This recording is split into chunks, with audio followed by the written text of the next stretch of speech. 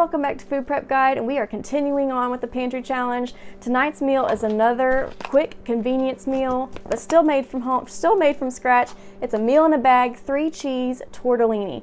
This is something I like to prep and have on my shelf for busy weekends. This is, each of these little shells are filled with cheese so that's yummy. All we do is add, let's see, we boil four cups of water we like to add a can of peas. That's just because we love sweet peas in our family, but we've done this before with broccoli. You can put any kind of vegetable you want in there. Some carrots would be good. Um, if you are going to be using a canned vegetable, go ahead and pour the juice in with it. So don't drain your vegetable first. And then normally, to make the cheese sauce, you just add a block of cream cheese at the end. And that's how I'm going to type it up on the blog because it's with, with cream cheese, all you need is this bag, a canned vegetable and cream cheese and you have dinner on the table in about 20 minutes. But I don't have much cream cheese left. I think I have one, maybe two blocks of cream cheese. We still have two weeks left in this challenge.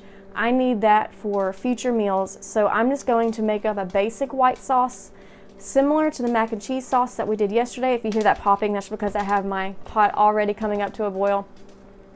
Um, anyway, back to the cheese sauce. I'm going to make a basic cheese sauce made with starting out with the roux, but instead of making it uh, cheddar cheese like we did yesterday for macaroni, we're going to keep it an Alfredo type of sauce with using white cheddar and Parmesan and some seasoning, a little bit of garlic, a little bit of onion. It'll be really good. So this is coming up to a boil. While that's happening, I'm going to go ahead and melt two tablespoons of butter and two tablespoons of flour to get going on that roux. Okay, this water is already boiling, so now we're just going to add the contents of our bag. I'll have everything typed up for you and linked in the description box below for what's in this bag.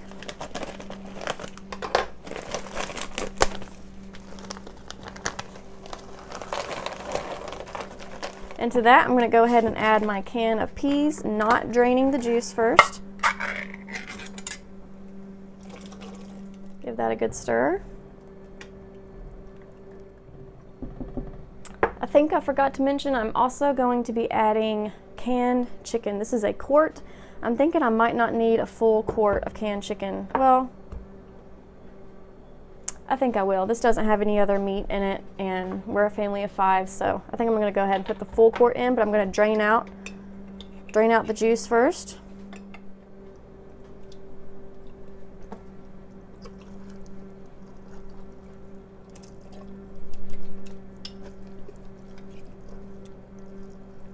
I think we will do a video in the near future after this challenge about canning chicken.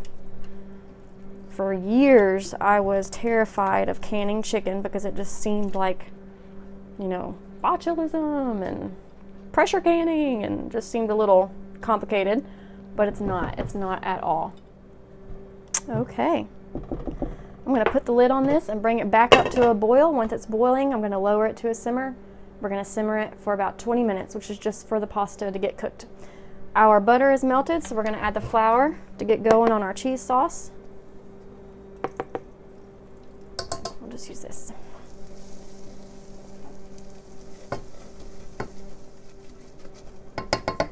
Okay, I've had that heat on for a while, so it is already ready to go ahead and add our milk. So to that, we are going to add one cup of milk.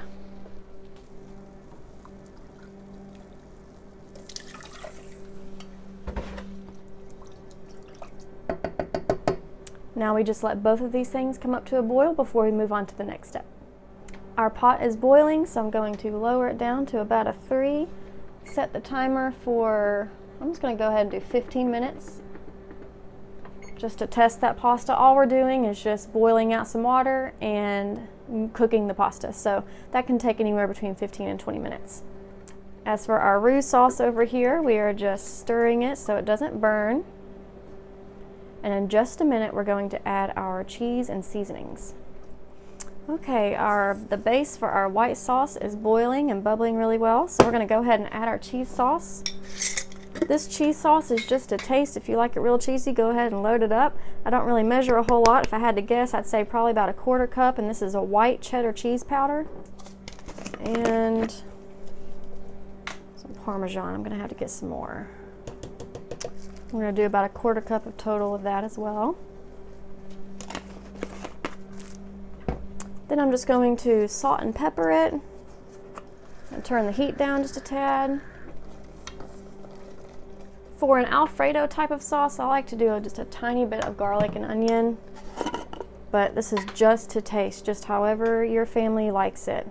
If you're looking for a good project of sorts to start cooking more homemade in the kitchen, learning just a basic white sauce and how to adapt that for mac and cheese sauce, Alfredo sauce, sausage gravy. Um, that's a really good place to start because it's just two tablespoons butter, two tablespoons flour, one to two cups of milk, and then you just start seasoning it according to what dish you're making. You can save a lot of money by not having to buy Alfredo sauce or boxed mac and cheese or those sausage gravy packets at the store that are so overpriced and half the ingredients you can't even pronounce them. Okay, at this point I'm going to taste it and see what it needs.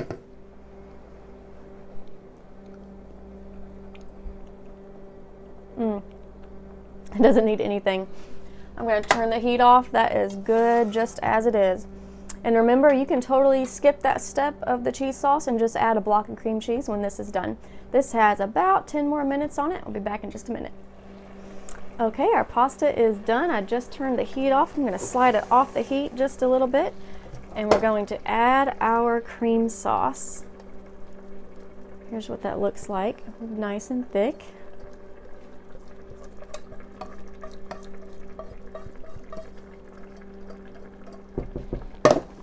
Mix that in real good. Okay, we are done. Scoop some of this in here. There we go, three cheese tortellini using only ingredients from your pantry. Remember, you could have just added a block of cream cheese if you don't want to do the uh, do the roux sauce.